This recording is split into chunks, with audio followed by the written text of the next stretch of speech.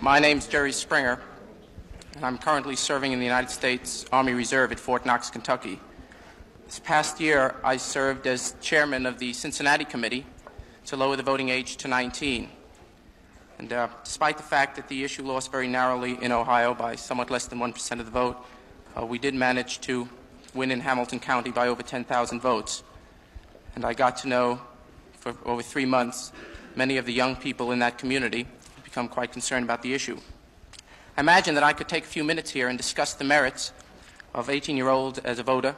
I could tell you that he is intelligent, articulate, well informed on the issue, and concerned about the cities he lives in today and he will inherit tomorrow. But I maintain that those are not the reasons we should give the 18 year old the vote. We should give him the vote simply because he has a stake in our society.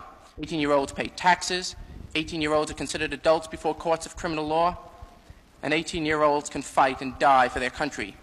Yet, despite all these responsibilities which our young people have, it is only the 1 or 2 percent who protest and riot.